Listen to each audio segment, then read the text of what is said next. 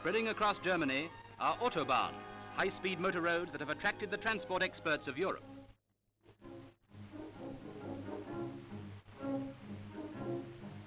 These roads were made, not just laid, by digging, cutting and blasting. The muscles of strong men and the brains of skilled engineers have been allied in the cause of progress.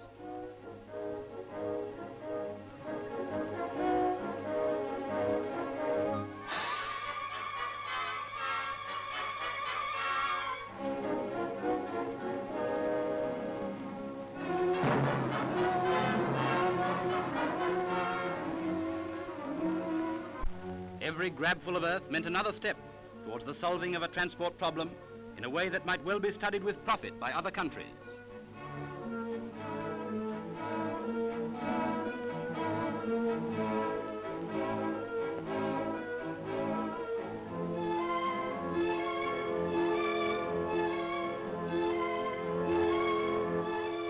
Bridges, viaducts and aqueducts were built to carry these great highways, these vital arteries of locomotion.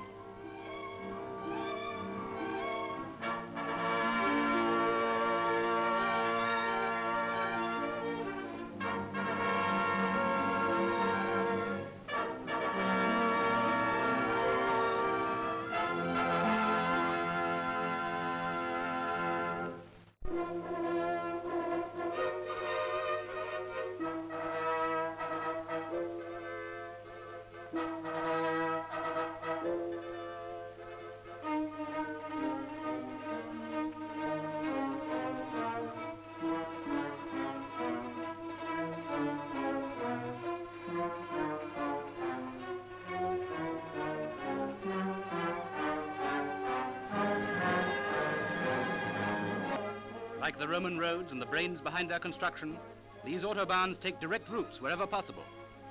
Soon it is expected that with a reduction in manufacturing costs, most families will possess a car. The volume of traffic then will be enormous, but it has been anticipated.